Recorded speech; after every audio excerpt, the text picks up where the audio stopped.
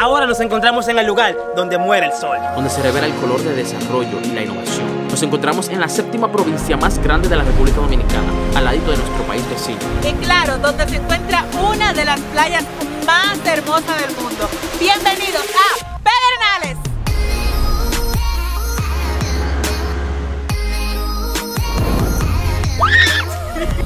Ah, se me había olvidado decirte. Bienvenidos a otra ruta.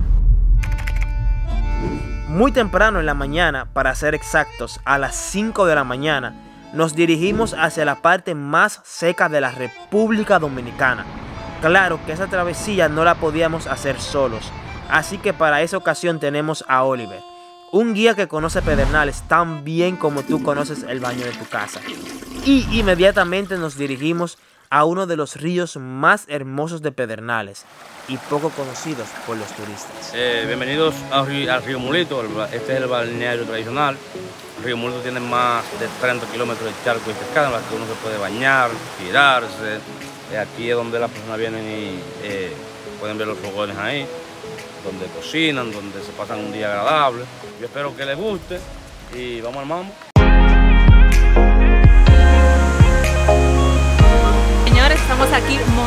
Porque estamos de camino a uno de los ríos que está escondido, pero dicen que es hermoso, o sea que estoy curiosa. Y ustedes dejen, dejen ahí los comentarios. La mini hidroeléctrica es la cual se encarga de darle electricidad a tres comunidades, el cual ahí tenemos una planta procesadora. La- el agua que viene le da a un dínamo, lo cual produce entonces la electricidad. O sea, lo que significa es que la hidroeléctrica no afecta eh, eh, lo que es el cauce del río, el agua atraviesa el río. Bueno, aquí Oliver nos trajo al río El Mulito. Tuvimos que caminar un poquito, eh, caminamos algunos que 7, 8 minutos, pero hay que ser sinceros, es hermoso. El agua es transparente. Yo quisiera que ustedes vean lo que yo veo, porque no sé si se aprecia igual en la cámara.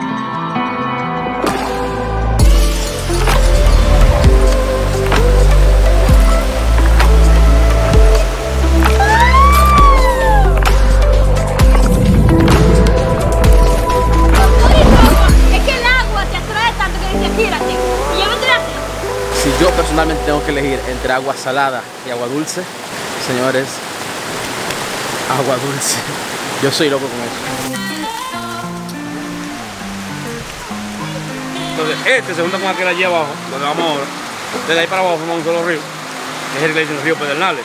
Es, es el mismo río que estaba como por la, por la El- río en la frontera, exactamente. pero que está seco. Exactamente. Sí, también fuimos a la frontera con Haití. Y para que no te pierdas este video, enciende la campanita.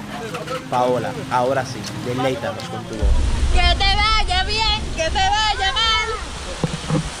Que te vaya de cualquier manera. Y recuerda que para encender todas las campanitas tienes que hacer algo. Suscríbete al canal. Eso. Ya de ahí para abajo, es lo que llaman la confluencia, que confluyen los, los, los- los ríos, el, el nuestro, el mulito. Y este es de ambos, yo por llamarlo así porque no es nuestro solo, que nos divide. Entonces, este tiene la característica de que el agua viene un poco más tibia, por el hecho de que viene un poco más destapado, más descobijado, más desforestado. Este un poco más frío porque viene quizás más cubierto. Entonces ahora mismo este se encuentra sucio por la rastra de- del caliche que viene cayendo de, por la lluvia. Y para que tengas una idea de cómo se ve el río cuando está limpio, te dejamos la siguiente imagen.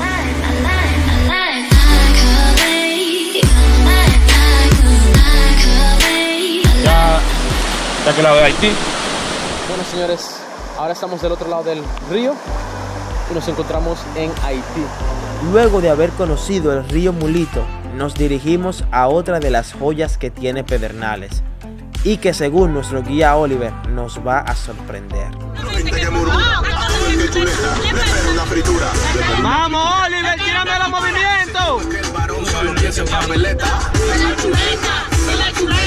Ahora nos encontramos en los pozos de Romeo.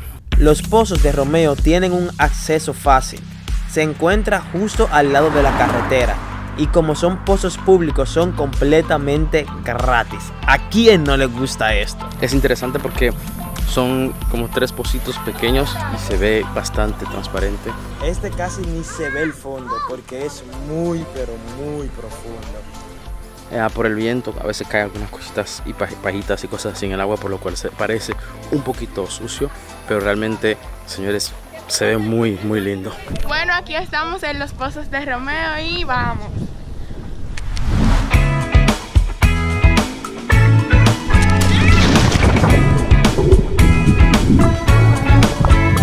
Después de los pozos de Romeo, Oliver nos aseguró que todavía tenía un as bajo la manga. Nos iba a llevar a una de las joyas escondidas de Pedernales, a tal punto que ni siquiera sale en el mapa. Y nos encanta ser nosotros quien te lo muestre. Señores, estamos aquí. Llegamos, estábamos primero en las cuevas de Romeo o algo así. ¿Cómo es? ¿Qué se llama? Los pozos de Romeo. Venimos a algo que es muy similar, no es de los pozos de Romeo, pero se dice que son iguales, así que vamos a ver. Y por otro lado, déjanos introducirte a David. Él es hermano de Oliver y su misión era traer los salvavidas para que no nos ahogáramos y cuidar el auto que estaba prácticamente parqueado en la carretera. Vamos, miren a Paola lo que le pasó aquí. Eso es lo que pasa cuando te compras un moño, Paola. Sí, porque, porque yo, yo no entiendo. ¿En dónde estamos, Oliver? En el Parque Nacional Jaragua, Pedernales. El 68% es área protegida, Pedernales. ¿Pero por qué? Área protegida. Porque así es declarado por las entidades que entienden que tiene que ser así. Bueno, aquí estamos de camino a otro cenote. Este queda cerca de los pozos de Romeo, pero es un poco más complicado para llegar. Un camino lleno de cactus, como pueden ver, y cuidado con las espinas. Para que no te pulles y te lleves una sorpresita. Recomendable que con sandalias. Sí, esta piedra con pila de hoyo. Muchísimo hoyo por todos lados. Uno no sabe qué le puede salir a uno por ahí. Y seguimos caminando, ya llevamos algunos, no sé, dos minutos caminando más o menos. Parecen como 10. Porque por eso hay un sol tremendo. Para acá no es una área tan turística, pues, se podría decir, porque está muy rústico. Acabamos de llegar y miren cómo se ve el resultado.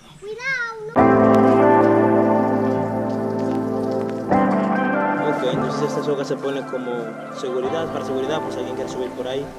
eh, hay un lugar para subir, nos, nos cuenta Oliver, pero extra seguridad. Señores, esas son las locuras. Otra ruta. Una bullita, una bullita.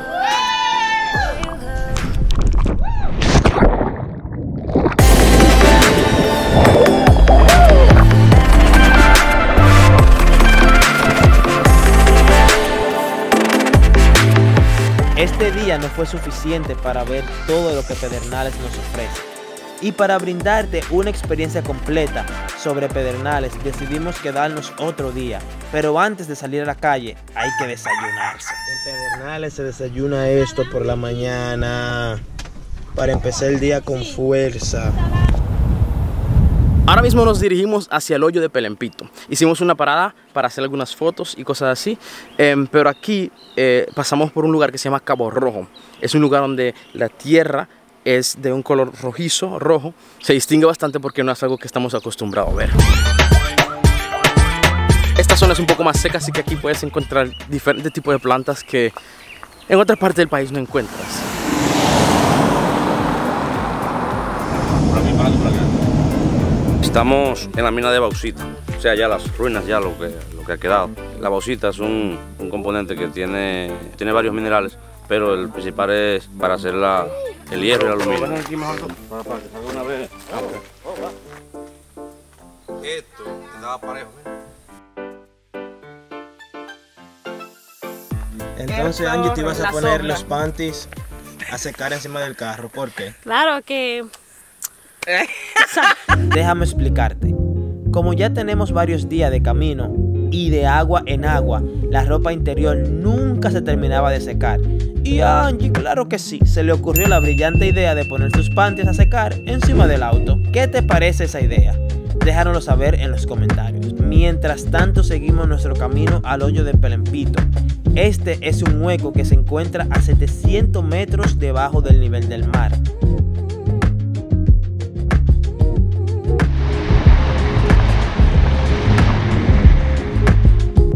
Bueno, aquí estamos en el parqueo del hoyo de Pelempito. Después de la entrada tenemos que caminar algunos 3-4 minutos.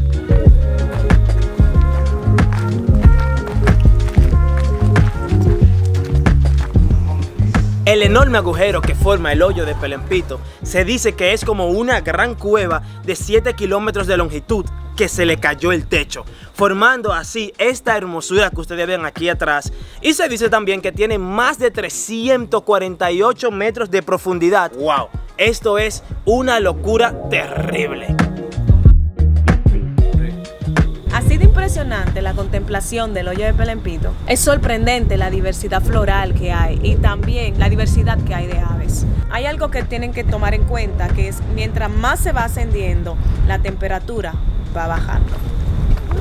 Ahora nos dirigimos a la playa de Cabo Rojo, conocida por su arena blanca y sus aguas turquesas. Y como ya antes mencionado, una de las magias que tiene la playa de Cabo Rojo es que se le debe a la explotación de bauxita, en que en sus costas se crían manantíes antillanos y se reproducen las tortugas carey, además abundan los pelícanos. Y que también el intenso azul de sus aguas cambian de tono según pasen las horas. Hasta hace unos años, esta pequeña extensión de mar era un balneario limitado, debido a la explotación de bauxita en la zona, la cual por muchas décadas se encargó de prosperar a esta provincia. Ahora mismo lo que gana el protagonismo en este lugar son sus hermosas aguas y su paisaje sin igual. Después de nuestra ruta por el hoyo de Pelempito, los pozos de Romeo y se nota que está muy muy complicado de llegar, ha tocado comer algo porque señores hay hambre. Así que hemos llegado acá restaurante Doña Charo eh, y vamos a ver qué hay de comer. Mientras estamos esperando la comida, nosotros no nos quedamos tranquilos. Así que vamos a ver qué están haciendo en la cocina. Y aquí nos encontramos en la cocina, en los fogones del restaurante Doña Charo. Cuéntame, Moreno, ¿qué es lo que estás haciendo por aquí? Estamos aquí preparando unos platicos bien sabrosos, criollos, para cada visitante que vienen acá a este restaurante Doña Charo. Ahora mismo estamos aquí preparando una pechurina con tostones. ¿Entiendes? Vamos a también hacer un pollo a la plancha. Aquí lo tenemos en el sazón, míralo. Lo dejamos ahí en su sazoncito para que coja el gusto con su limón, su naranja. Serve ahí. Ese morito de guandule. Morito de guandule. Ya ustedes saben. Y así nosotros todos los atendemos a todos los clientes, cada cliente que viene, como se merece. Ok, y según tú, ¿qué es el plato, fa- o sea, el más favorito, el más vendido del restaurante? Mira, ¿Y por hermano, qué? Mira, aquí cada persona que viene, nosotros le ofrecemos lo que es un pescado dorado al coco. ¿Cómo? Es el que viene en lonja. Ese se le preparamos con moro de guandule y su ensalada verde. La gente queda loca con ese. Ahora, también de pescado que se hace al coco bien bueno en la criolla es el chillo. Un pescado bien bueno el chillo. O sea que aquí en Marisco ustedes son... No. Tienen que pasar por aquí, porque yo vi muchos No. restaurantes por aquí No, también. la gente para acá que viene, mi hermano. La gente puede dormir por ahí, no duermen aquí porque nosotros lo sacamos. A mí me querían llevar como tres veces para su casa y le dije, no, no, tranquilo. Ah, porque es que tú tienes la, la, No, la verdadera grasa como chef. Claro, y, y- la cocinera de aquí, Charo y la hija que está por ahí, esas son las maduras, Mm. claro, de toda la región sur. hemos estado trabajando eh, con lo que se puede. No tenemos dinero, entonces lo estamos haciendo rústicamente y típico. Ya Doña echaron una marca y lo que tiene que ver ya con pescado, marisco. Doña Charo tiene su sazón. Bueno, mis hermanos y amigos que me están viendo, suscríbase a este canal Otra Ruta. Esos muchachos que están en eso. Listo.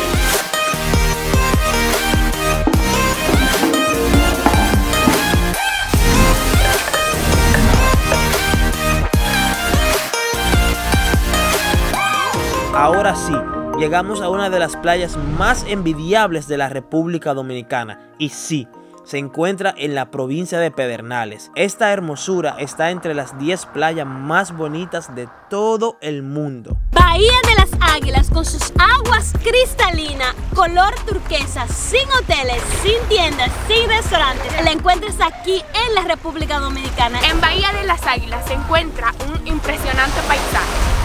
Se puede venir en vehículo todoterreno o en bote. Les recomendamos traer su bloqueador solar ya que este espacio cuenta con poca sombra.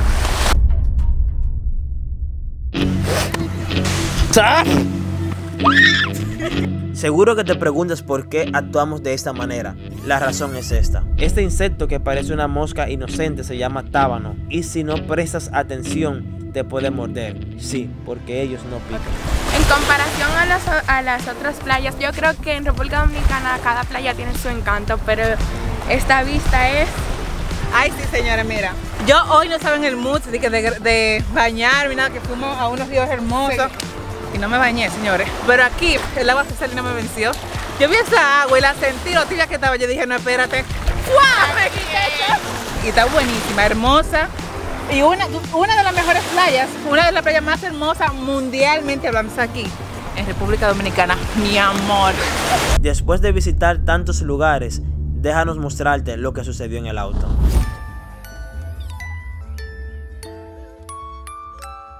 Después de este espectáculo, nuestro viaje por Pedernales no estaría completo si no visitamos el punto más profundo del sur de la República Dominicana, el cual se llama Oviedo. Y aquí nos encontramos en el pueblo de Oviedo. Y vamos a tener ahora una entrevista muy interesante. Cuéntenos, ¿quién es usted? Muy bien, mi nombre es Carlos Suero, soy funcionario de este ayuntamiento, del área administrativa, y estamos aquí con la finalidad de darle cualquier tipo de explicación que necesiten acerca del entorno y la región. Bien, cuéntanos un poco sobre el turismo aquí en Oviedo, porque estamos en el sur todavía. De esos lugares turísticos que están aquí en Oviedo, ¿cuáles son? Los que usted dice, por ejemplo, si vienes al sur y pasas por Oviedo, no puedes dejar de visitar. De visitar, no puedes dejar de visitar el Arroyo Salado, Arroyo que Salado. es un tipo balneario con aguas termales que se notan que son azufradas, ¿no? De azufre, aguas saladas que Wow. realmente rehabilitan el, el cuerpo. Igualmente la laguna de Oviedo, también hay otros puntos como llegar a Oviedo y nosotros que estamos iniciando un parque temático donde nosotros eh, ponemos ahí especies que son autóctonas de aquí de la región, específicamente de Oviedo, como el cangrejo, la iguana, el flamenco, la tortuga carey, entre otras especies. Nosotros estamos ahora mismo haciendo ese parque temático que ya cualquier persona que venga a la región, principalmente a Bahía de las Águilas, antes que llegar a Bahía de las Águilas, se toman su foto en ese parque temático y ya se identifican de que han llegado a la zona sur más profunda de República Dominicana. Claro, me encanta lo que dice porque el sur es más que Bahía de las Águilas y en este video lo vamos a seguir demostrando. Así que síguenos y vamos allá.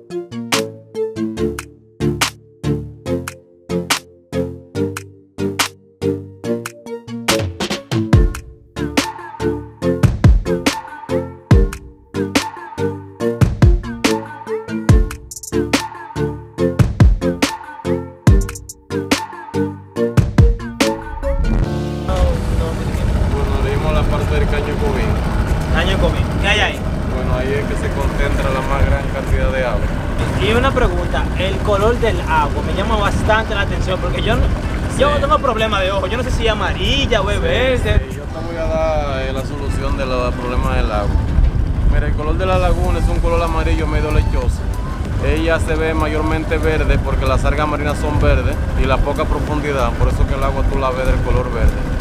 Pero si tú la ves en un punto de vista, en la parte más profunda, ella se ve medio amarilla como si fuera color lechoso. Es cierto que, por ejemplo, aquí, imagínense que yo decido darme un baño en esas aguas. Si yo tengo algún tipo de enfermedad en la piel, ya que se van. Sí, por lo menos la laguna de Oviedo, eso es algo atractivo para la gente bañarse porque el agua es medicinal para la piel, cura lo que es la piquiña, la varicela, el sarpullido. Ya, Esa franja que se ve al frente separa la laguna y el mar de unos 800 metros. Después de los 800 metros está el mar Caribe, que la laguna está por encima del nivel del mar a unos 9 metros. Bueno, nos encontramos en la isla de las Iguanas. Este es un sitio específico para visitar en la laguna de Oviedo y en el Parque Nacional Jaragua. O sea, hay dos tipos de iguanas. Una de ellas es la iguana rinoceronte, es la que ven acá. Una, una isla donde tanto ese tipo de, de iguanas es, es bastante interesante.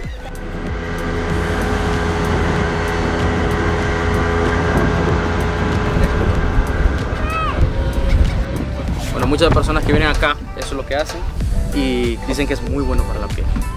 Pero ahora vamos a quitarnos esto porque ya está bueno. Y por recomendación del funcionario Carlos Suero, decidimos ir a uno de los lugares más visitados de Oviedo, el Arroyo Salado. Acabamos de salir de la laguna de Oviedo y llegamos a un balneario que queda a 5 kilómetros de la laguna. Y vamos a ver, realmente vamos a hacer, mostrar algunas tomas de cómo aquí todo esto se ve.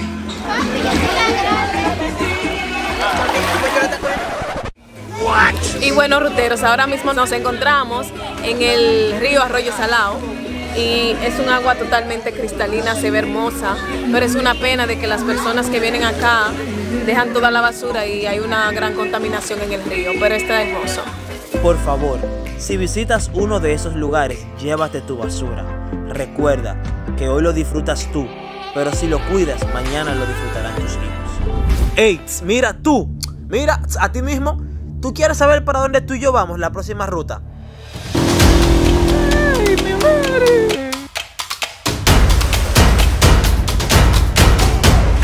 ¡Juego! Yo fuera tú y me suscribo para que no faltes a nuestra próxima cita.